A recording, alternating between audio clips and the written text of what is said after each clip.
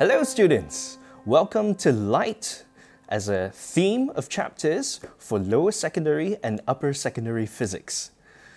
As you probably have already been introduced in school, light is actually subdivided into three different subtopics, which we will cover in due course.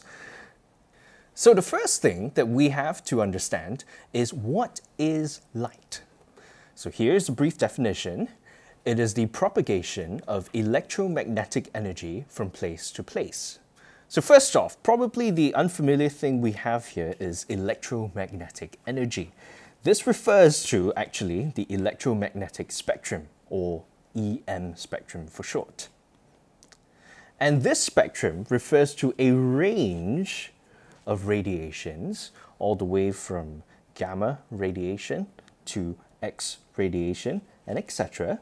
Well, what we're interested here is in visible light, which lies right in the middle of this spectrum. Oh, I'm sorry, there are too many dots here. There are actually seven regions that you have for the electromagnetic spectrum. So, what all of this is, is very simply a propagation of energy from place to place.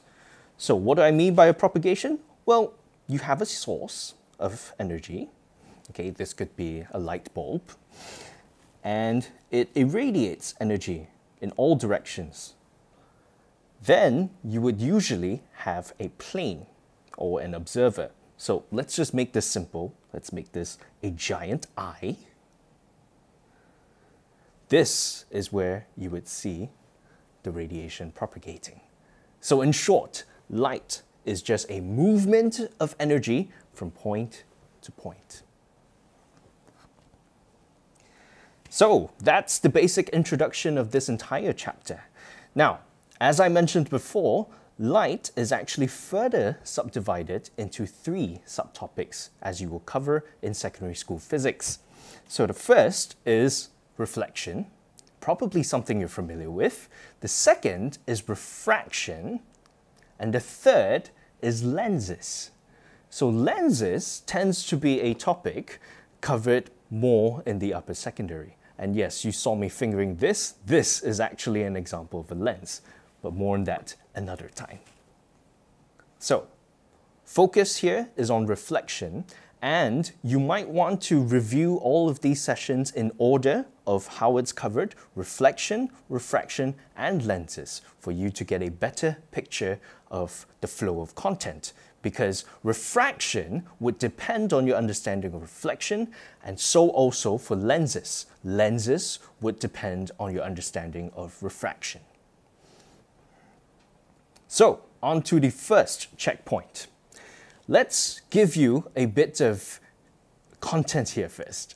All electromagnetic spectrum waves, including light, like I covered just now, travel at the speed of 3 times 10 to the power of 8 meters per second. This is the speed of light as we know it. So the question we have here is this. It reads red light irradiates from a source, like I drew just now, 2.4 kilometers away. How long does it take to reach the observer's eye? So we could pause the video. Let's take 5 to 10 seconds to stop and think for a bit. So we can see this question is interested in how long it takes for light to travel this distance, 2.4 kilometers. You might have remembered that I shared with you all light has a speed of 3 times 10 to the 8 meters per second. This means that in one second, light can travel 3 times 10 to the 8 meters. Now you may recall from primary school the simple speed equation. Speed is distance over time. So all we need to do is simply to make time the subject here, distance over speed, and apply it. So distance is 2.4 kilometers. We'll straight away reduce that to 2,400 meters divided by 3 times 10 to the 8 meters. This is that time. And if we just punch our calculator real quick, There we go, eight zeros. You'll be left with quite a few zeros over here.